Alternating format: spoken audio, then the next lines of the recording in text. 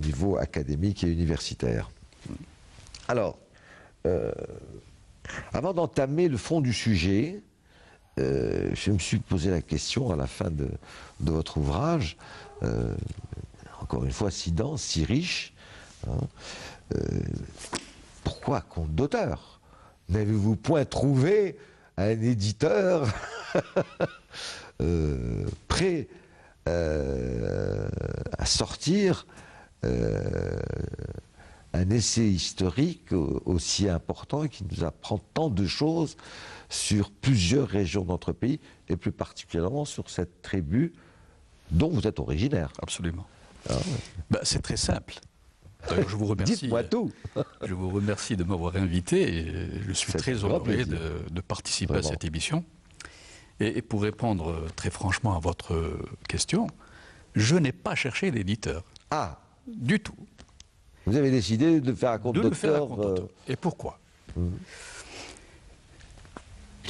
Écrire, dire les choses avec une telle liberté aujourd'hui, c'est quand même nouveau. Mhm. Et cette liberté, j'avais envie de la respirer totalement. D'accord. De ne pas me mettre sous le contrôle d'aucune personne. Comme diraient les latins, de ne pas avoir d'impedimenta, d'embûche. D'embûche. Donc, et j'ai vu euh, mon beau-père, qui lui-même avait fait euh, un ouvrage sur le, syndicat de l'UGTA pendant la guerre de libération nationale, qui est Boalin Boulouiba. Et j'ai vu souffrir mon, mon beau-père avec son éditeur. Donc je me suis dit, je n'ai pas envie de passer par cette... Euh, deuxième aspect du problème, c'est que ce que nous écrivons n'est pas du, du roman. Hmm. Donc où je chercherai euh, la vente de beaucoup d'ouvrages pour me faire de l'argent. Ça n'était pas du tout dans Non, de toute façon, ce, type d'ouvrage. Voilà. Donc je me suis dit, si je le tire à, quelques centaines d'exemplaires, ça ne va pas me ruiner. Donc des gens pour ce pays ont donné beaucoup plus que cela. Je peux très bien donner du temps et un peu d'argent. Eh ben, et garder ma liberté. C'est tout à votre honneur. En tout cas, c'est un, ouvrage qui, euh, qui, à mon avis, a, plus qu'une place, une excellente place euh, dans des bibliothèques euh, universitaires ou entre les mains de, chercheurs, parce que vous avez fait vraiment un travail exceptionnel de collecte de, documents. il y a une très riche bibliographie en finale. Euh, donc on voit bien que vous êtes allé euh, euh, chercher, lire, emmagasiner, comme une éponge, bien vous tremper dans des grands noms, que ce soit Axel, que ce soit Charles-André Julien, que ce soit Ibn Khaldoun, et, bien d'autres. Et bien d'autres. Hein. Encore une fois, la bibliographie est excessivement riche à la fin de votre ouvrage avec également une très bonne euh, euh, chronologie hein, sur l'histoire euh, de, ce, que, vous avez appelé. Et là, tout de suite, je pose la question parce que d'entrée de jeu, dans votre vous dites bon, c'est pas un concept nouveau. Je je suis pas historien. Je suis pas en train d'inventer un concept nouveau, mais il me semble que si j'avais à définir cette région, encore une fois, on va la, définir sur le plan géographique, je l'appellerai euh, numide Algérie. Voilà. Euh, comment expliquer un petit peu ma démarche? Ma démarche est la suivante. Depuis tout jeune, dans cette période de, la colonisation où, pratiquement le peuple algérien était nié dans, mmh. dans son histoire, dans son être, mais heureusement que nous avions autour de nous des familles qui entretenaient la mémoire.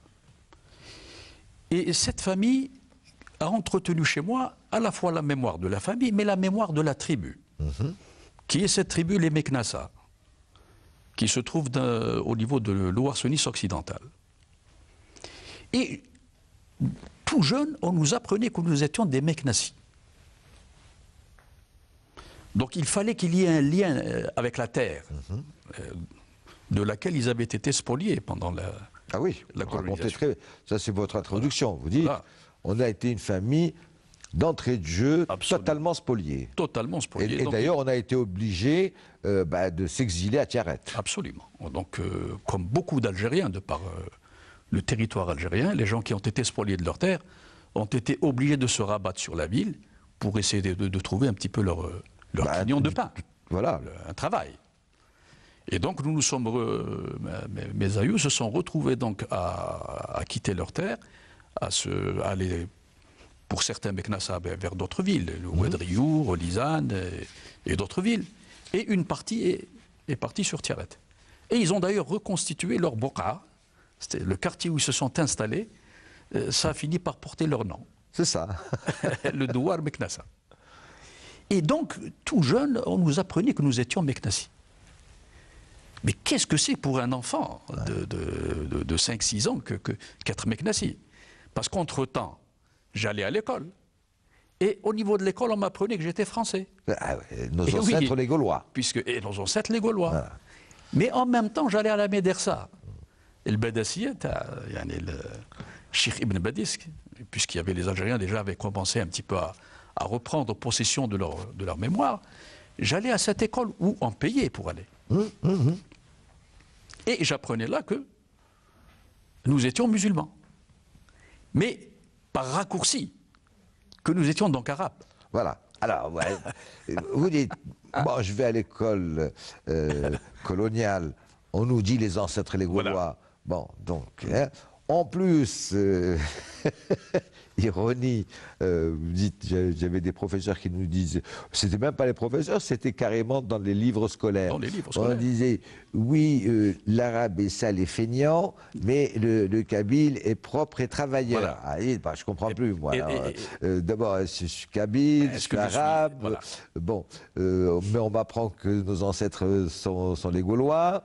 Et puis je vais à l'école coranique. Mais là, j'apprends l'arabe.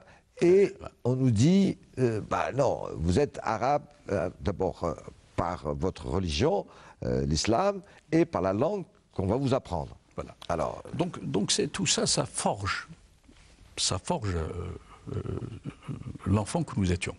C'est-à-dire, euh, elle le forge dans l'interrogation. Qui sommes-nous? Et donc, c'est resté en moi en tant qu'Algérien.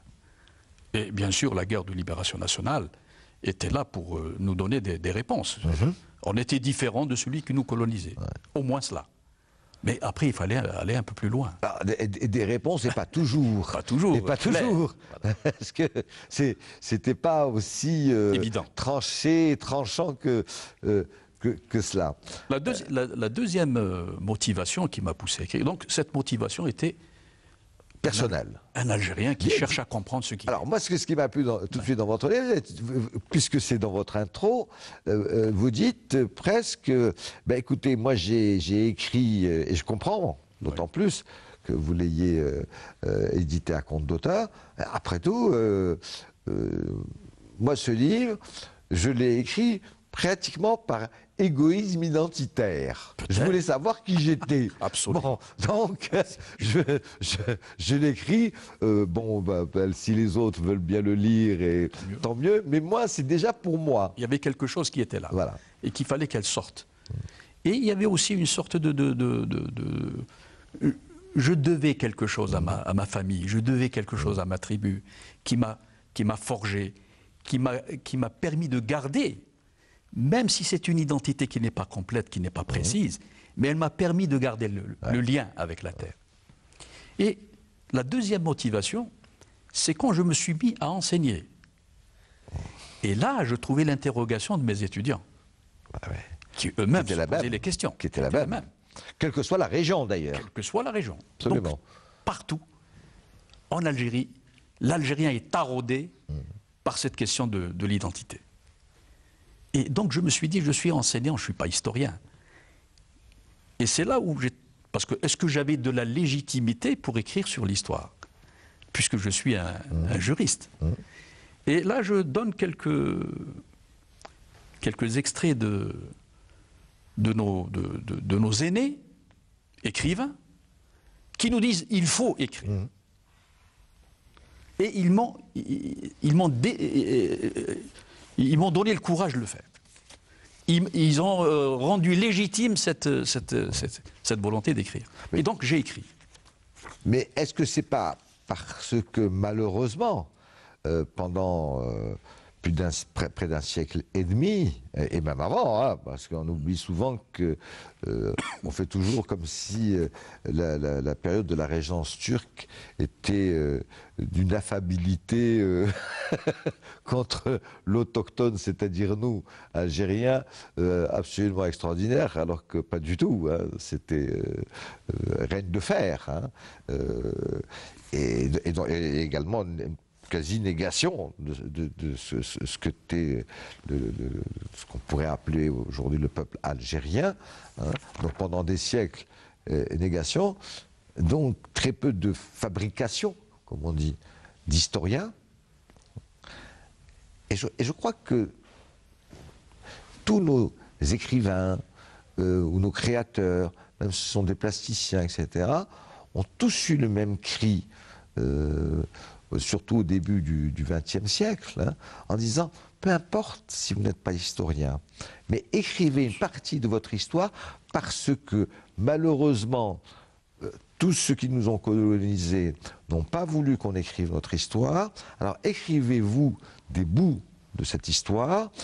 Un jour viendra, comme disait le poète, un jour viendra couleur d'orange, où nous, en tant qu'Algérie indépendante, nous fabriquerons, entre guillemets, des historiens qui écriront petit à petit notre histoire. Et donc chacun a une part de responsabilité pour écrire, même celui qui ne sait ni lire ni écrire, mais oralement parlant, il a un bout de l'histoire de l'Algérie dans notre tête. Je crois que vous êtes un peu parti de cette, de, cette idée. De cette idée. Je suis parti de l'idée que j'étais algérien et que je, je me devais d'apporter une petite contribution. Je pense aussi que j'ai tiré un peu cette légitimité du fait que j'enseigne quand même depuis plus de 40 ans. Donc je me suis dit, mais je ne suis pas un historien, mais je suis en mesure de lire. Mhm. Donc je suis capable de lire et capable de synthétiser avec la méthodologie de l'enseignant pour apporter à nos jeunes quelque chose qui est déjà digéré. Parce que notre histoire est écrite différemment de ce que l'on pense elle est écrite depuis l'Antiquité, depuis les Grecs, les Romains. C'est-à-dire on est capable de trouver beaucoup de choses sur le pays. Mais il faut qu'on s'y mette. Il faut qu'on plonge, il faut qu'on lise. Et ce n'est pas toujours facile. Alors, justement, euh, bien sûr que vous avez fait un travail absolument extraordinaire hein, euh, d'aller dans les archives, de, de, vous instruire et donc de nous instruire euh, à partir des grands historiens, qu'ils soient européens ou arabes ou algériens, sur l'histoire de notre pays. mais pour moi, je le vois plus spécifiquement comme un ouvrage d'une extraordinaire portée méthodologique. Absolument. C'est-à-dire, écoutez, bien sûr qu'il y a des lacunes. Vous le dites vous-même. Hein. il y a des choses sur lesquelles je suis obligé de passer parce que euh, je ne suis pas historien, euh, ce n'est pas mon travail, où, il faudrait dix tomes. Hein. Mais euh, en tant que juriste, j'ai appris une méthodologie, on m'a appris une méthodologie hein, de comment aller vers le savoir et enseigner le savoir, eh bien, mon livre, je voudrais le construire ainsi. Et, pour moi, le, squelette, l'ossature de votre ouvrage, de votre essai, est, fait ainsi. Absolument. C'est sa grande force. Absolument. Donc, euh, le, donc cette, cette, assimilation de tout ce que j'ai lu m'a permis donc d'avoir de la matière et de la construire et de la structurer. Et là, effectivement, euh, ma structuration en tant que juriste m'a aidé à, amener vers celui qui, qui a envie de s'intéresser à l'histoire de l'Algérie, mais j'avais surtout euh, à l'esprit et à l'idée mes étudiants, mhm. ces Algériens qui sont en train d'avancer, ces futurs managers du pays. Mhm. Comment voulez-vous être un bon manager quand vous doutez de vous-même? Vous ne pouvez pas partir à la conquête du monde quand vous n'avez même pas conquis encore votre pays. Donc il faut le conquérir. Il faut conquérir son histoire. Et plus on est sûr de soi-même, plus ses racines sont profondes, plus il est capable d'aller très haut. Voilà un peu ce, que j'ai essayé et, un petit peu. Plus on comprend l'autre. Et plus on peut Absolument. mieux comprendre l'autre. Absolument. hein, Plus- et, et- et ce qu'il peut nous apporter. Absolument. D'ailleurs, vous commencez avec, euh, bien évidemment, euh, Mostafa. Absolument. C'est clair, hein, puisque c'est un de nos plus grands, c'était un de nos plus grands penseurs. hein. Pour moi, son livre euh, Des noms et des lieux reste absolument Magnifique. une référence euh, extraordinaire, parce que justement, c'est pas et des noms et des lieux qu'on peut retrouver son identité. Voilà.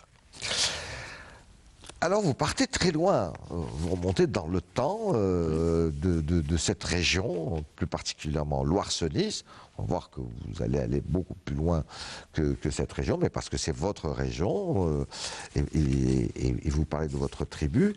Vous dites, voilà, Marcenis est une euh, place qui est très ancienne. hein, on peut remonter à 2 millions euh, avant la naissance euh, de, de Jésus-Christ.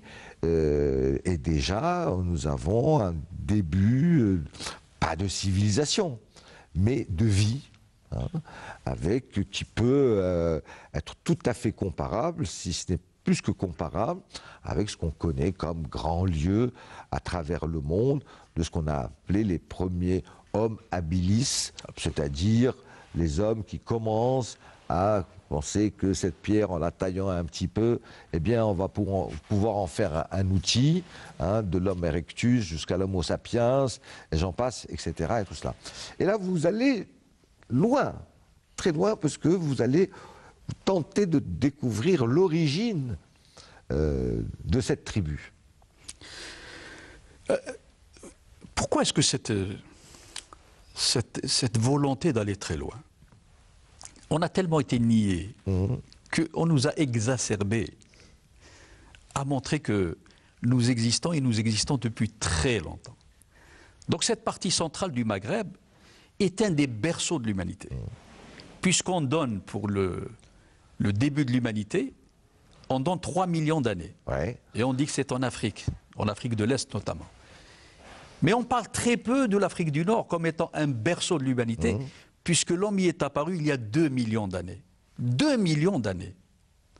Donc c'est quelque chose de... de- Donc le, le- le- le peuple qui est dans, cette, dans ces régions, il n'y a pas lieu de le chercher ailleurs. Il était déjà là il y a 2 millions d'années. Et c'est en- et c'est là où il, a, il, il est passé par toutes les évolutions qu'a connu l'homme euh, là, là où il est. Or, l'Europe, l'homme n'a commencé à y apparaître qu'il y a un million d'années. Ah, à peine, à peine. Voilà. Donc, je voulais que l'Algérien ait cette profondeur. Et donc, par la suite, il a fallu montrer toute l'évolution humaine qui, a été connue par cette région, jusqu'à 12 000 ans, où la Berbérie com- commençait à se mettre en place, la culture berbère commençait à apparaître, avec un langage qui lui était propre, pour aller vers 6000 ans avant Jésus-Christ, où l'écriture a commencé à Oui. apparaître, l'écriture berbère, avec une évolution qui, euh, qui, qui- se faisait au fur et à mesure. Vous dites même, c'est probablement une des premières grandes écritures Dans le monde. universelles Dans le monde. hein, dans le monde. Dans le monde. Euh, effectivement, il y a eu d'autres écritures, le cunéiforme, euh, les, les hiéroglyphes, etc. et tout ça. Euh, mais vous dites, c'est effectivement une des premières alphabets hein, avec vous euh, qui a commencé, qui se rapproche du tifinagh a- Absolument. actuel, Absolument. hein, et on- dont on retrouve trace, malheureusement.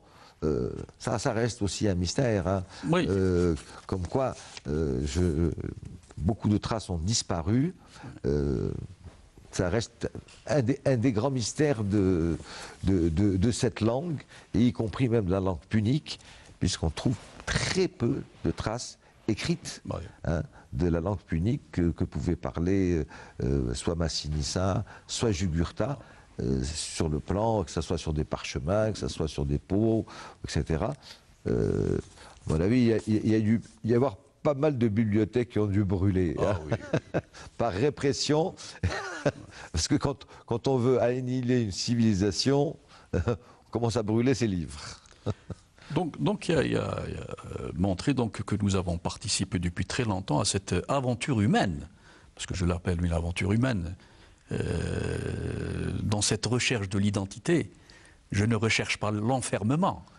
Je cherche à savoir qui je suis pour m'ouvrir aux autres pour partager avec les autres. C'est ça qui est important. Et, et donc toute, toute, toute, toute, activité humaine mérite respect. Et je souhaite qu'on respecte la nôtre aussi. Ben, Voilà. Alors vous allez très loin puisque vous dites probablement, bon, vous parlez au départ euh, plus, plus spécifiquement de, de cette région qu'on appelle Loire-Nice. Oui. On verra que bon, euh, c'est hein, c'est- bien souvent ça ne rejoint pas. Il faut toujours faire attention en histoire et en géographie hein, de ne pas confondre euh, le nom des régions qui étaient données à l'époque avec c'est qu'elles sont aujourd'hui. Si on dit Loire-Nice, ce n'est pas la même, tout à fait la même configuration géographique de ce qu'on appelle Loire-Nice aujourd'hui, de ce qui était euh, euh, que ça- 8 ans ou, ou 10 ans avant Jésus-Christ, hein, et même bien après. hein. Alors, c'est une région riche, forestière, hein, euh, avec une- un début de civilisation. hein. Et quand on dit civilisation, c'est non seulement l'écriture, mais c'est aussi un mode de vie. Hein. Euh, alors, c'est pas tout à fait un État. Oui. Alors, vous insistez énormément, parce que ça va être tout le long de, de votre ouvrage, hein, dites, euh, pour la construction d'un État, les, États qui vont y se constituer, et les différents royaumes à travers toute l'histoire de le- la, la numide Algérie, n- n'avaient pas comme euh, je veux dire, interface les États tels qu'ils se sont construits en Occident chrétien. Ça n'a rien à voir. hein. Au, au départ, c'est un mode tribal. Absolument. hein. Euh, Ce sont des tribus. Alors d'ailleurs, il va y avoir ce qu'on appelle des confédérations de tribus. Absolument. hein. Euh, on peut, pour faciliter euh, comme ça la compréhension de dire que c'était des royaumes, en réalité, ce n'était pas aussi simple que cela. hein. Euh, donc, il y avait des confédérations, il y avait des royaumes, effectivement. Dites, euh, et les tribus faisaient des alliances, euh, euh, euh, allaient euh, vers d'autres, suivant aussi les conditions climatiques qui vont changer. Ça, c'est très important, parce qu'il ne faut pas oublier que les régions beaucoup plus au sud que Biskra, etc., c'est des régions qui n'avaient rien à voir avec un Sahara.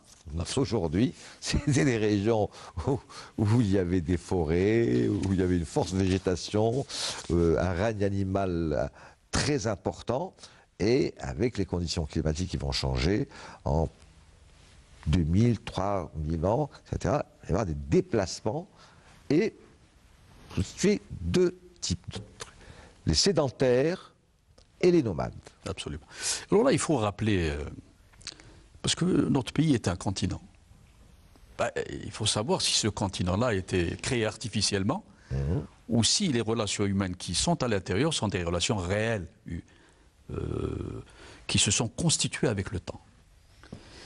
Euh, effectivement, euh, le monde sortait de la dernière glaciation vers, le, vers 12 000 ans avant Jésus-Christ.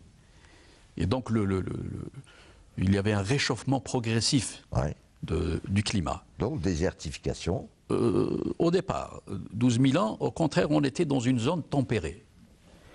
Et donc, euh, le nord du pays était euh, verdoyant. verdoyant, et ça allait jusque dans le sud. Et c'était tellement propice à la vie que vers 4000 ans avant Jésus-Christ, des populations du nord, du Tel, se sont déplacées vers Oui. le sud. Oui, oui, oui, oui. oui. Et elles ont occupé le sud. Donc 4000 ans.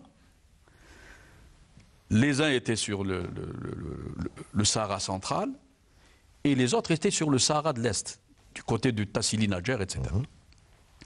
Et c'est vers 2500 ans avant Jésus-Christ qu'il y a eu un, un assèchement du climat assez brusque. Euh, et là, les populations qui étaient dans ces régions-là se sont regroupées les unes autour du Tassili Nadjer. Pourquoi? Parce qu'il y avait il y a des failles importantes qui ont permis la création de lacs. Et ces lacs-là ont permis donc de, de laisser la vie perdurer. Mais comme ils étaient réunis dans un espace assez réduit, ils ont pu constituer un État. C'est Et ces gens-là portaient le nom du, temps des, Grecs et des Romains. Ils les appelaient les Garamantes, qu'on appelle nous les Djerma. C'est ça. Les Djerma. Et leur capitale était Garama. Et c'est un État qui, était dans le Tassilinagère et qui, qui, allait même sur une partie de la Libye, mhm. du côté du Fezzan. Et vous avez les Berbères qui étaient dans le, Sahara central, avec l'assèchement du, Sahara, ils sont remontés sur le, tel saharien et ils ont pris possession aussi des, hautes plaines. Et on les connaît sous le nom de Romains de Gétule. C'est ça. Ou bien, le nom qui est plus proche de notre prononciation, c'est les Djedala. Et ça, il faut les retenir parce que c'est là où va se trouver la matrice de nos tribus. Ouais. Et dans le sud, donc euh, le sud-est, c'était les Djerma. Dans le, sur le Sahara, sur l'Atlas saharien et les hauts plateaux, c'était les Gétules ou euh, les Gétules ou Djerma, euh, plutôt Gétules, c'est les, les Djedala. Et nous avions dans le nord le Constantinois, c'était les Massiles, et le centre et l'ouest, c'était les Massaïciles. Et là, à partir du premier millénaire avant Jésus-Christ, ces quatre grandes confédérations étaient déjà en place. Alors, ce qui est intéressant, c'est ces quatre euh, grandes confédérations. On va voir que euh, malheureusement, il va y avoir euh, des dissensions terribles pour des questions de territoire. Bien sûr. Hein, bien sûr, hein, parce que c'est pas, pas tant, et c'est ça qui est intéressant. C'est généralement, c'est pas tant pour le pouvoir d'agrandir son territoire, mais c'est pour beaucoup le fait que, un, des conditions climatiques vont faire qu'on a besoin de ce qu'on appelle euh, bah, des, territoires nourriciers. Hein. Euh, et puis, euh, il va y avoir des grands hommes, hein, chez les uns comme chez les autres, qui vont avoir des idées d'unification. Ça, ça va être très important. Mais ce que vous dites dans votre ouvrage, et qui est, pour moi très très intéressant, vous dites, Effectivement, chacun avait évidemment euh, ses particularités. Hein, sur le mode civilisationnel, y compris sur le mode de l'art, hein, mode de, vous parlez souvent du tissage, euh, de, de, leur représentation, y compris euh, physique. Hein, vous allez même jusqu'aux coiffures, jusqu'aux coupes de cheveux, jusqu'à sa façon d'être. vous dites, mais quand même, il y avait quelque chose c'était une unité euh, d'appartenance. Absolument. Et une unité linguistique euh, très importante, même si, mais ça dans tous les pays du monde, hein, qui se sont construits avec au départ une sorte d'unité linguistique, avec évidemment euh, des déformations euh, qui sont dues euh, eh bien, à ce qu'on appelle la langue vernaculaire, c'est-à-dire celle du quotidien, où on va prononcer différemment, mais parce qu'il va y avoir des brassages au cours des siècles avec d'autres civilisations. mais si on va retrouver sur le plan étymologique, on va retrouver effectivement que c'est les mêmes racines je, suppose que vous avez dû euh, euh, approfondir et lire tout ce qu'a appris notre grand professeur Haddadou quand il a écrit son dictionnaire étymologique sur toutes les langues euh, amazir. et vous-même vous dites d'où vient ce mot amazir, d'où vient le mot ber, hein, ce qu'on a appelé le berbère. Alors, ça, ça ça aussi, hein, c'est comment il s'appelle, la fausse image. Hein, quand, on interroge quelqu'un en il dit euh, d'où vient le mot berbère, il vous dit ah non, parce que ça a été la déformation de barbare par les Romains, alors que ça n'a strictement rien à voir du tout. Alors là, le, mot berbère, je, le dois à un écrivain algérien qui lui était féru en langue amazigh et qui, connaissait bien aussi. Euh, l'origine un petit peu de, nos aïeux, qu'ils aient existé ou qu'ils soient mythiques. Oui, oui, oui, oui parce qu'il y a les, la mythologie aussi, il y a les mythes fondateurs, il y a bah aussi les mythes C'est normal. Donc euh, tous les berbères se reconnaissent comme un aïeul commun qui était ber. le, père de Mazir, ou Madir, et le père de Bernice. C'est ça. Donc quand on dit berbère, il n'y a, rien d'autre que la référence à l'aïeul, Ber, dont le fils est Ber, Bernice. Et ils se reconnaissent aussi sous le, nom de, Mazir, par référence à Mazir, qui, qui était lui-même l'un des fils de Ber. Donc euh, ce sont des noms qui se sont donnés en partant de leur propre vécu, en, partant de leurs propres origines. Et, non, point euh, importés par d'autres civilisations, du tout. Et il y avait aussi cette, ce deuxième, euh, ce deuxième, euh, cette deuxième référence auquel vous avez fait tout à l'heure référence, c'est cette notion de Numidie. Hum. Quand les Berbères étaient, parce que les Berbères étaient sur l'ensemble de l'Afrique du Nord, ça allait des frontières, ou des confins à l'époque, c'était pas des frontières. Ça allait des confins de l'Égypte jusqu'aux îles Canaries. Absolument. Et ça allait de la Méditerranée jusqu'au jusqu'au pays du Sahel aujourd'hui. Donc euh, c'était un monde euh, vaste. Et dans ce monde vaste, ils parlaient quand même la même langue. Et ça, c'est extraordinaire. Oui, avec des intonations peut-être différentes. D'une région à une autre. C'est comme aujourd'hui. Quelqu'un qui parle l'arabe à Oran ne le parle pas de la même manière qu'à Constantine. Mais ils se comprennent. bien sûr. Aucun problème. Donc, euh, euh, c'était un monde qui, était, qui avait des, liens très forts entre eux. Mais, entre-temps, l'histoire a commencé à dessiner dans ce monde euh, immense un certain nombre d'entités qui commençaient à prendre corps. Mm-hmm. Et là, vous voyez, si vous voyez la géographie, vous verrez le Maroc, il est entouré par des montagnes extrêmement importantes. Mm-hmm. Et là, dans, ce, dans, dans, dans, dans, cet endroit aussi protégé, a commencé à, à naître une, dans ce monde berbère quelque chose, une identité qui était particulière. Oui, oui, oui. Et, dans, ce, dans, cet espace-là, ben, euh, en référence toujours à la terre, euh, Tamourt, ça a donné progressivement le nom à une tribu, et par la suite, ce nom a, commencé à être donné à l'ensemble des habitants du, Maroc, euh, le terme de mort. Oui, alors que, généralement, les, gens pensent que le terme de mort vient de la, conquête de l'Espagne, l'Andalousie ou euh, la Sicile. C'est plus tard. absolument. Au contraire, il part de là-bas pour aller. absolument. Et à côté de, ce peuple qui se constituait dans, dans les limites du Maroc actuel, derrière les montagnes, il y avait cet espace numide. Mais dans cet espace numide, à partir du, de la venue des Phéniciens qui s'étaient installés mmh. Euh, en Ifriqiya qui commençaient un petit peu à se tailler mmh. un espace. Et en même temps aussi, il y avait les Phéniciens étaient en avance à l'époque. Et donc, on, commençait à s'inspirer de leurs techniques, mmh. à la fois euh, sur le plan de la construction, sur le plan de l'organisation de l'État, etc. Mmh. Et c'est à ce moment-là que se sont constitués deux royaumes numides, l'un à l'est et l'autre au centre et à l'ouest.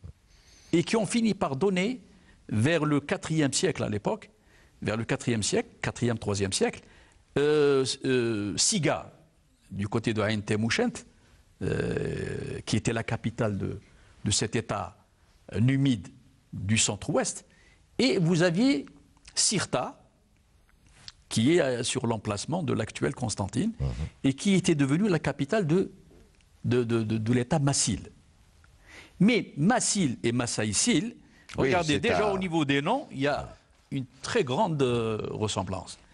Et mais tout en étant Massil ou Massaïsil, ils se reconnaissaient comme étant des Numides. Oui, voilà. Et donc, il fallait qu'il y ait quelqu'un qui soit téméraire pour essayer d'unifier les, deux espaces. Et l'un des premiers a été Massinissa. Euh, Alors avant Massinissa, ça, a été, ça, a été Sifax. Ça a été Sifax. Qui l'a payé très cher. Et qui l'a payé très cher. Et, qu'est-ce qui s'est passé entre le royaume Massil et le royaume Massaïsil C'est qu'il ne faut pas oublier qu'il y avait Carthage, qui était une puissance à l'époque. Bah, C'était les guerres puniques. Voilà. Mais il y avait une autre puissance qui était en train de lever, c'était Rome. Alors, les Carthaginois, voyant le danger romain qui était en train de, monter, euh, se sont bien gardés. Ils, ont pris toute la Tunisie parce qu'ils étaient venus en locataire uniquement. Oui, oui, oui, au départ. Ils ont fini par, par, prendre l'ensemble du pays. Mais ils, se sont arrêtés pour euh, aller vers, vers l'est de l'Algérie parce qu'ils se sont dit tiens, il y a un danger qui est extrêmement important. Ils n'avaient pas envie d'ouvrir un autre front avec les Numides. Ils se sont associés plutôt aux Numides. Et c'est à ce moment-là que la fameuse histoire des, Carthaginois qui, euh, qui, avaient donné euh, sophonisme, la belle sophonisme qui était promise à Massinissa. Au départ Voilà. Et donc il y avait une alliance entre eux. Mais comme les guerres puniques étaient en train de se retourner contre Carthage, Carthage s'est dit tiens, j'ai peut-être intérêt à m'allier à Sifax qui est beaucoup plus puissant que euh, que les Massiles. Il, est vrai que le royaume massacile euh, de, de, Sifax euh, était plus, beaucoup plus important, beaucoup plus riche. Hein, euh, et puis ils se sont dit bon, eux ils sont pas proches de nous, ils sont pas à nos frontières. il vaut mieux peut-être qu'on aille avec Sifax, qui, qui lui nous viendra pas nous embêter parce que il y aura toujours ce, ce, ce sorte de limesse, hein, cette ligne de défense qui est Cirta, etc. Et tout ça. Donc, ils ne sont pas proches de nous, alors que euh, Massinissa, lui, euh, il est à nos portes. Euh, et il devient une puissance, puisqu'on verra que Massinissa construit carrément un État hein, centralisé, va faire des pactes avec justement les, les, tribus du Sud, hein, et donc va apaiser tout cela, et va carrément il était à la limite d'une réelle unification, publique pratiquement près de 40 euh, ou 50 ans de temps de paix. Hein. Et même son fils va lui-même continuer cette œuvre euh, de paix sociale, ce qu'on appellerait, euh, ce que les, Romains, qui ont peut-être même pas réussi à le faire à l'époque de l'empereur Auguste, la Pax Romana. Hein. Euh, on frappait monnaie, euh, on, pouvait librement commercer, euh, il y avait des routes, tout ça été parfaitement bien réglementé. donc, parce qu'il faut savoir que pendant l'Antiquité, avoir 50 ou 60 ans de temps de paix, c'était une pure merveille, hein. parce que ça guerroyait à qui mieux mieux euh, par des seigneurs de guerre, euh, par le fait de seigneurs de guerre, par, euh, par quelquefois des, bêtises, hein, des mésalliances ou des ruptures de contrats de mariage parce que c'était des possessions de terre. Hein. les, contrats de mariage, c'était je te donne un peu de terre, tu me donnes un peu de terre, etc. Et tout cela. Il, faut tirer coup de chapeau. Alors, si on raconte tout ça, c'est parce que tout est, dans votre ouvrage excessivement détaillé. On ne peut pas malheureusement en une heure aller dans le détail. Mais ce qui est très intéressant, c'est de voir comment petit à petit, euh, de confédérations de tribus, même de tribus excessivement isolées, euh, des grands hommes, euh, parfois profitant d'affrontements entre des puissances montantes comme Carthage et Rome, euh, parfois profitant de dissensions entre certaines confédérations tribales du sud ou de l'est et de l'ouest, vont tenter de unifier, de trouver une unification hein, de cette Numidie-Algérie, parce que c'est vrai que à aucun moment donné, ou presque, hein, on a tenté que tout d'un coup, il y ait ce qu'on appelle un réel royaume du mythe complet de A à Z. Hein. Il y a eu à un moment donné, il y a eu. Et là, vous avez cité Massinissa. Donc c'est pour ça que Massinissa, pour nous, c'est une référence extraordinaire. Sifax a essayé effectivement de, de, prendre la Massilie en profitant de son alliance avec Carthage, et il l'a prise. Oui, oui, oui. Il l'a prise. D'ailleurs, il s'est installé même à Cirta. Sauf que les Romains, eux, qui voulaient affaiblir Carthage, ont vu Massinissa à l'œuvre, parce qu'il les a combattus, et ils savent que c'était un chef militaire d'une très grande euh, capacité. Ils ont fait alliance avec lui. Et voilà les Romains alliés aux Massiles qui arrivent à battre et Carthage et, les Massaciles.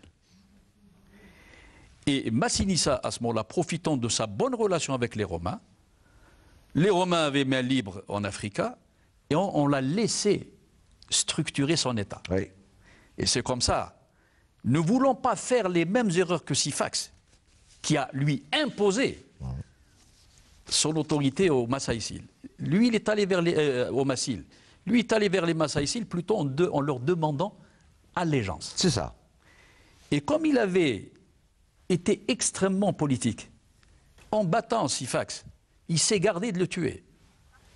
De la même manière qu'il s'est gardé de tuer Ver- Ver- Vermina, qui était le fils de. Vous voyez Il a Au laissé. contraire. Il les a- L'un a été est parti vers Rome, vers l'Italie, où il est, il est mort là-bas d'ailleurs, et l'autre est revenu vers les, les Massiles. Donc, les tribus, quand vous, euh, vous préservez leur dignité, ils regardent votre demande avec beaucoup plus d'attention. Et comme les tribus sont à la recherche de gens capables de leur permettre de vivre en paix, parce que les gens ne faisaient pas la guerre pour le plaisir, ils faisaient la guerre parce qu'il fallait survivre, il fallait vivre. Et nous sommes quand même sur un territoire qui est l'Afrique du Nord. Euh, nous n'avons pas de grands fleuves, nous n'avons pas de très grandes richesses. L'eau est importante. L'eau est importante. Donc là où il y a un manque d'eau, il y a, y a- y a- il y a des conflits. Donc Bassinissa a su accentuer la sédentarisation des Algériens, Ouais. leur permettre d'être complémentaires entre sédentaires et nomades, parce que chacun développe une économie qui est complémentaire avec l'autre, et c'est en ayant leur, euh, non pas en leur imposant, mais en les amenant à voir que leur intérêt était de coopérer, il a pu obtenir de- de- ces liens entre Massil, Massaïsil, et par la suite entre Massil, Massaïsil avec les Gédala des hauts plateaux, et avec des relations extrêmement importantes avec les, les Djerma, c'est-à-dire les Garabantes. Donc c'était déjà une nation qui était déjà en train de fusionner les différents éléments qui la composent, Qui était en gestation. qui étaient en fusion, qui étaient en marche. Parce qu'une nation n'est jamais une donnée, c'est une construction. Tout à fait. C'est une construction. Mais, mais alors ça, euh, ce qui nous reste malheureusement, vous voyez, comme le temps passe vite, hein, euh, professeur Benamara, euh, c'est pour ça que je tenais absolument à ce qu'on fasse euh, une deuxième partie euh, d'émission avec votre livre, Les euh, Meknassas de l'Ouarsonis, parce que jusqu'à maintenant, on n'a pas évoqué euh, l'importance de cette tribu et le rôle qu'elle a joué pendant euh, toutes ces tous ces conflits et toutes ces tentatives de, euh, de fusion. Euh, ce qui est tou- toujours excessivement intéressant euh, de voir à travers tout votre ouvrage, c'est euh, que on pense, et- c'est là que vous détruisez ce mythe, hein, euh, pense que en Occident, tous ces pays qui ont été des grands empires ou des grands royaumes, etc., se sont construits ex nihilo. hein, et qu'ils n'ont pas subi toutes ces transformations hein, et tous ces apports parce que c'était des puzzles. hein, et que tout d'un coup, un pays comme la France ou comme l'Italie, quand on pense que l'Italie, l'unité italienne ou l'unité allemande ne s'est constituée que vers les 1870 hein, ou 1848, on a de quoi rêver. Parce que si on pense que l'Italie d'aujourd'hui euh, était l'Italie euh, du, du 15e siècle, il faut oublier. Et donc, quand les pays euh, européens donnent des leçons en disant Mais nous sommes des vieilles nations, le, royaume de France n'était constitué que de l'île de France actuelle. Les autres, c'était des royaumes ou du duché en Bourgogne, en Bretagne, etc. Et tout cela. Alors, c'est parce que vous dites, comme d'autres historiens, comme j'adore le, livre de, Nouchy, Prenant et Lacoste, ou de Charles-André Julien, dit, mais voilà, euh, une, nation, voilà comment elle se construit, et quand vous, vous avez nié, les historiens colonialistes, vous avez nié l'existence d'une Algérie, hein, mais non, pourquoi faire une Algérie indépendante Parce que ce pays n'a jamais existé. hein. vous donnez une réponse magnifique à travers votre